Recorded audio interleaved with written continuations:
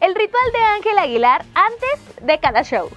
Mis chulos de la Mejor FM, ¿cómo andan el día de hoy? Yo les traigo un chismecito que está bueno, está bueno la verdad. No sé ustedes, pero a mí en lo particular sí me gusta conocer un poquito más de los artistas que están en tendencia o de mis artistas favoritos. Entre esas cosas de conocer más está, por ejemplo, qué hacen antes de subirse al escenario, qué hacen antes de un show, qué hacen en sus momentos libres. Ustedes nos han preguntado así de, ay, ¿a qué hora se despertará Ángela Aguilar? La verdad es que yo sí, o sea, a mí sí me da mucha curiosidad ese tipo de datos, ese tipo de cosas así de ¿qué comerá Cristian Nodal? ¿No? ¿Cuál será la comida favorita de Pepe Aguilar? Yo sí soy así y bueno, por eso el día de hoy pues les traigo el tema y el dato de qué es lo que hace nuestra, querida Angelita antes de cada espectáculo que nos da. Bien sabemos que Ángel Aguilar se luce, se luce, damas y caballeros, con sus vestuarios, con su voz, cuando sale a caballo. Híjole, la verdad es que sí creo que es una artista bien completa en el aspecto de dar un show de calidad y todos aquellos que han tenido la oportunidad de verla en un escenario o verlo en un ruedo se han dado cuenta de que esto que estoy diciendo es verdad. Pero, pues ella ha dicho y ha comentado en diversas entrevistas que ella sí se prepara antes de.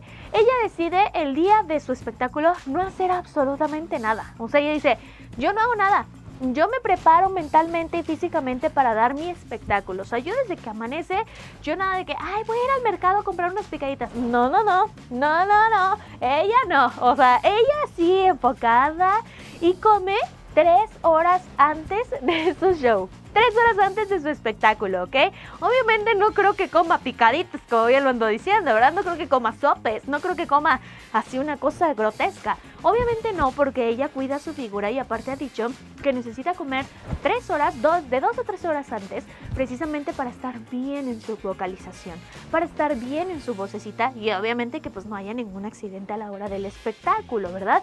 Esto queda más que obvio, creo yo. Pero bueno, más allá de eso, ella decide meditar, entrar en su papel.